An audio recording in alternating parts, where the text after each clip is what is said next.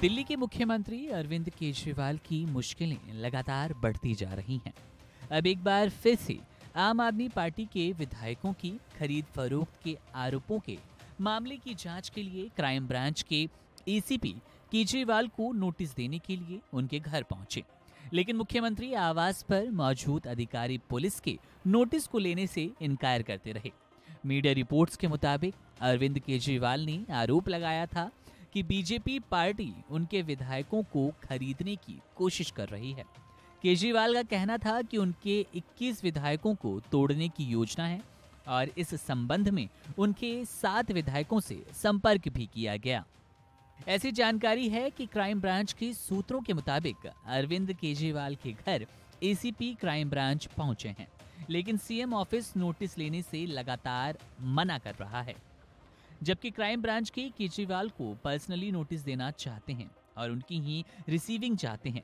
CM office का कहना है कि पुलिस नोटिस नहीं दे रही। पुलिस मीडिया को लेकर आई है। पुलिस का मकसद नोटिस देना नहीं, बल्कि बदनाम करना है। बता दें कि सीएम केजरीवाल के घर शुक्रवार शाम को भी नोटिस लेकर सीबीआई पहुँची थी।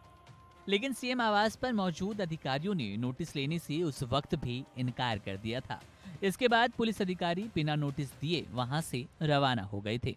गौरतलब है कि दिल्ली सरकार में पीडब्ल्यूडी मंत्री आतिशी ने एक प्रेस कॉन्फ्रेंस कर आरोप लगाया था कि बीजेपी आम आदमी पार्टी के विधायकों को 25-25 करोड़ रुपए का ऑफ़र दे रही है। उनके सात विधायकों को तोड़ने की कोशिश की गई। हालाँकि बीजेपी ने आपके सभी आरोपों का खंडन किया था। मीडिया रिपोर्ट्स की माने तो इस मामले में Delhi police crime branch Atishi को भी नोटिस भेज सकती है। इसके बाद दिल्ली के मुख्यमंत्री अरविंद केजरीवाल ने भाजपा पर हमला बोलते हुए सोशल मीडिया प्लेटफॉर्म एक्स पर एक लंबा चौड़ा पोस्ट कर दावा किया था कि बीजेपी दिल्ली में आपके विधायकों को तोड़ने की लगातार कोशिश कर रही है। पिछले दिनों बीजेपी ने हमारे दिल्ली के सात एमएलए से संपर्क किया और कहा कुछ दिन बाद केजरीवाल को गिरफ़्तार कर लेंगे। उसके बाद एमएलए को तोड़ेंगे। 21 विधायक से बात हो गई, बाकी बचे विधायकों से भी बात कर रहे हैं। साथ ही उन्होंने बताया कि हमारे सभी एमएलए बीजेपी के ऑफ़र को ठुकरा चुके हैं।